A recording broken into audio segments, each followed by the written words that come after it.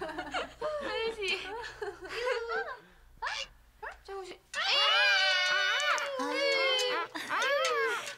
他好凶哦，你们看看。你是只老鹰啊！坏东西！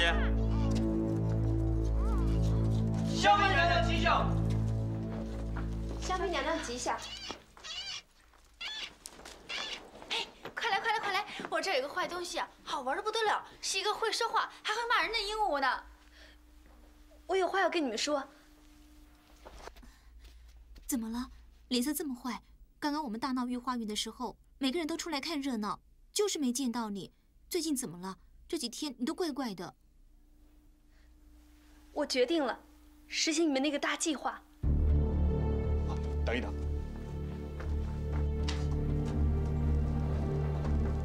小凳子、小桌子，你们在外面好好守着，有人来马上通报。站！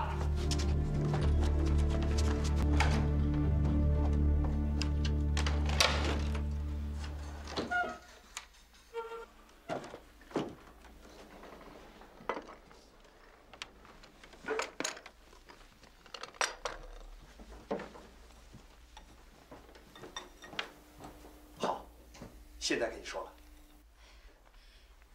我已经没有办法了，再不离开这个皇宫，我只有两个下场，一个是死，一个是疯。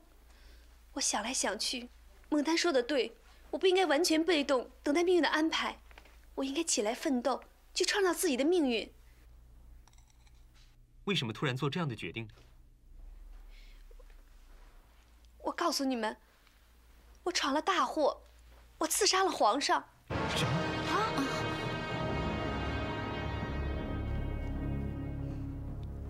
就在那天晚上，我们在这喝酒唱歌。等我回去的时候，皇上在宝玉楼等我。他说了很多感性的话，拉住我不放。我一着急，就刺了他一刀。怪不得刚刚皇阿玛的手腕吊着，原来是你刺伤的。可是这几天他都没有怎么样啊。他叫我不要说，对你们任何人都不要说。他也没有惊动任何人，每天都是我帮他换药。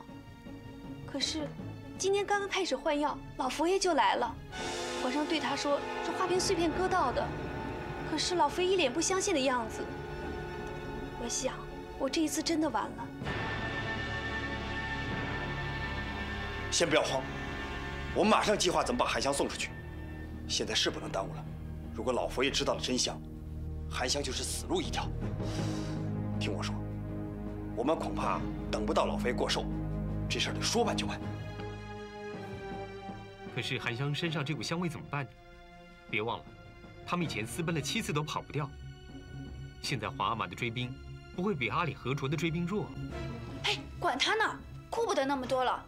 我们还是用花瓣藻来分散他们注意力。哎呀，那怎么成呢？把全世界的蜜蜂都引来了，不是更加引人注意吗？那又怎么样呢？引人注意的是假含香，又不是真含香。蝴蝶跟蜜蜂可以分辨得出我们和含香的味道不同，可是那些追兵根本就分不清楚啊。北京的狗跟回乡的狗也不一样，又没经过训练，他们怎么能够分辨得出我们跟含香的味道不同呢？到时候肯定是满城乱追一气。你们知道吗？小燕子说的有道理。那么我们上次的花瓣还有用，明天我再去多采一些花瓣来。我想了一个办法，我来缝一些套子，在眼睛的地方挖上两个洞，到时候套在头上，它再蒙着头跑，就不容易被叮得满头包了。那满街都是蒙着脸的人在跑，不是更引人注意吗？放心，跑的时候我会雇很多马车，大家都在马车里。无论如何，马车比人跑得快得多。也不必洗花瓣澡，每个人身上带一包花瓣就行了，连尔康、永琪、柳青、柳红身上都可以带啊。